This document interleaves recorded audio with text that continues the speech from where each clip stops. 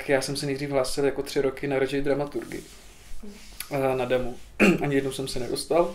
Dobře, Bůh nebo vyšší moc dobře zvolila. A jeden rok, když mě vyhodili z, voj, eh, z vejšky, tak jsem nevěděl, co dál se životem a kamarád mi říkal, běž na vošku. Prostě on tam studoval na vyšší odborné škole herecký v Praze. Eh, letos máte hrozně nízký jako školný. Ale nešlo o peníze, nebo takhle máma mi taky řekla, na rok si něco zaplať, ať, ať nemusíš si platit soc a zdrav. To je strašný takhle se k tomu přiznávat, ale bylo to tak. A vlastně tím, že mě to divadlo vždycky bavilo a, a chtěl jsem to zkusit, akorát jsem tam nikdy neviděl svou budoucnost, tak jsem jako do toho opravdu šel. Udělal jsem přijímačky a ještě bylo vtipný, že vlastně ročník otevírali uh, režisér a herečka, který dělali s mojí kamarádkou z Budic, která tam dělala dramaturgyni. Kristýna Čepková, která ještě s chodou okolností pak byla dramaturgyní nakladně, dávno, vlastně tohle se odehrálo dávno vše, předtím. Uh, tak Kristýna mě částečně dovedla k divadlu, že jsem s ní pak dělal studentský spolek, uh, připravovala mě na přijímačky na domu. Takže to bylo jako vlastně úplně takový lusknutí, jako hej, to fakt dává smysl. Prostě její blízký kamarádi, s kterými ona dost často spolupracuje, vedou ročník. Takže byla vlastně jasná volba. A po, říkal jsem si, že to zkusím na rok a bylo to tak intenzivní, jakoby pracovně, ale i lidsky, jako naše třída, oba pedagogové. Martin Vokoun a Diana Šoltýsová, že vlastně to už nešlo opustit. No.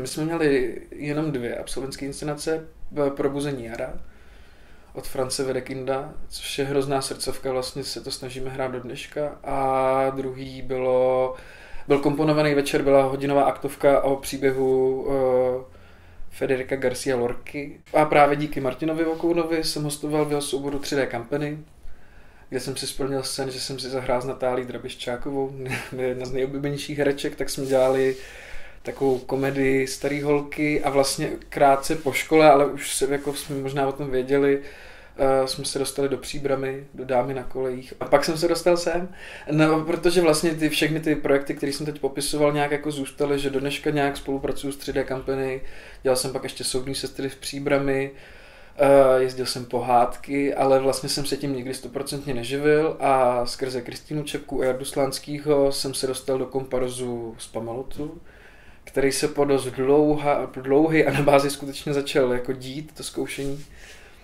A mezi tím jsem nastoupil Martin Vokoun, ten mi nabídl hostovačku v Tartifovi a vlastně pak vzhledem k tomu, že doufám, že Martin jako nějak věří v moji práci, Eh, a hlavně tím, že jsem tu dělal dvě věci jako host, tak vlastně se nabízelo mi nabídnout aspoň jako angažmá, že jako. Bože, vy jste taky teplej.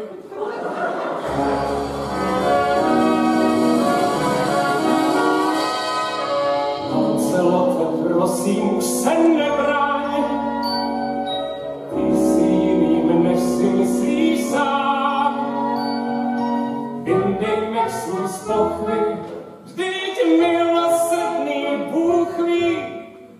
že si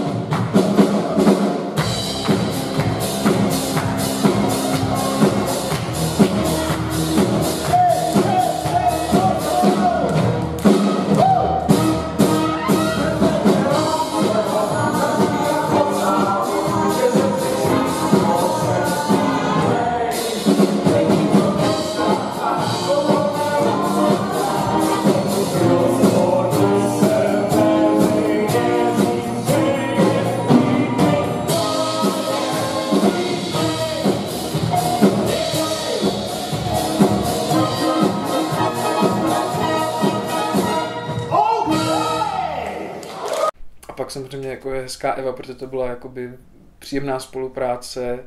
Já jsem hrozně vždycky bojoval s černobílejma komediemi totiž. Jako, a když jsem byl malý a máma na to koukala v neděli na nově, tak já jsem tomu říkal šedivý filmy.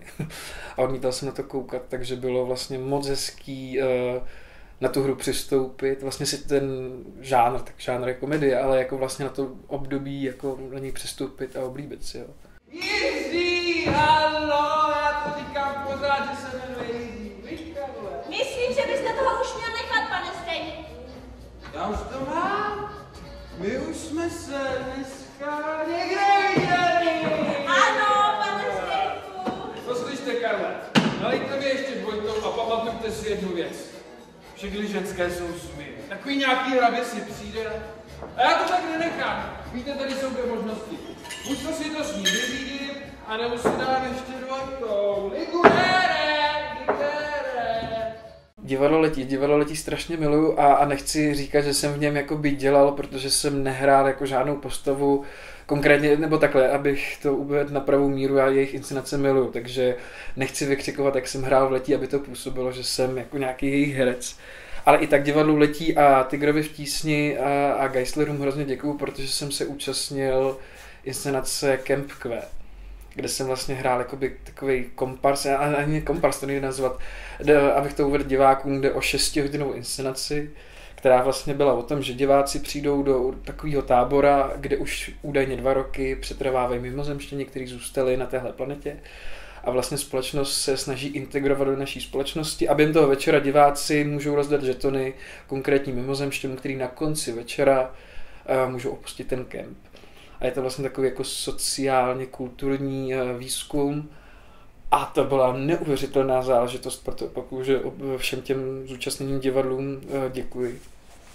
Protože kromě toho, že to trvá 6 hodin, což je samozřejmě samo o sobě specifický, tak no, neuvěřitelně jako zajímavý eh, situace se tam děly. Lidi dost často zapomínali, nebo ne zapomínali, ale opravdu přistoupili na tu hru a už vlastně ta hranice mezi divadlem a realitou byla docela tenká, že jsem tam zažil rvačky, eh, hádky, kdy vlastně na nás jakoby diváci řvali, že jsme zlí mimozemštěni a spoustu jiných prostých slov.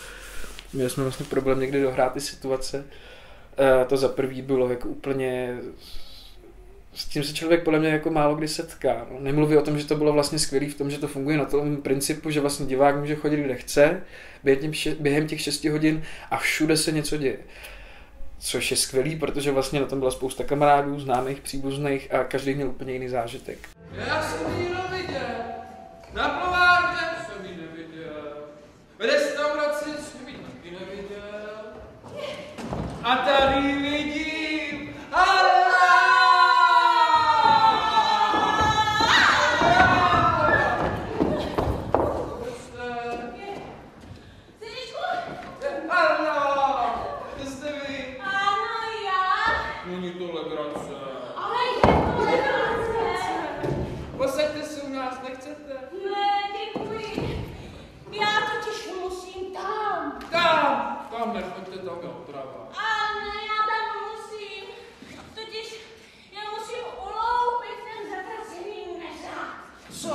Co? Vyračte být lupička.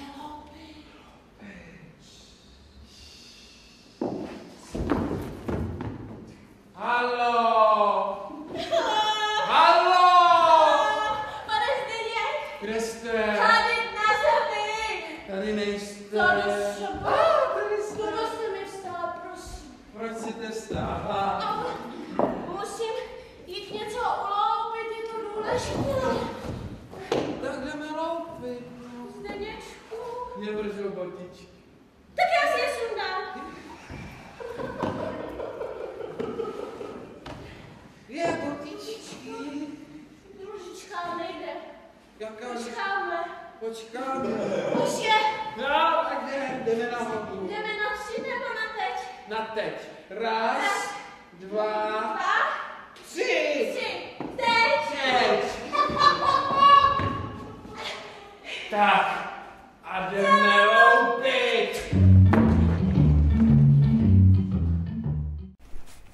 Na co bych vás pozval v Kladenském divadle, rozhodně doporučuji zpomalot. Uh, protože pro mě důkaz, že je to opravdu zábavná inscenace, ačkoliv není úplně pro každýho, byla první premiéra, kdy přijela moje lepší polovička a moje sestra. Lepší polovička Monty Pythony vůbec nechápe, vůbec se jim nesměje, taky díky tomu doma máme někdy hádky.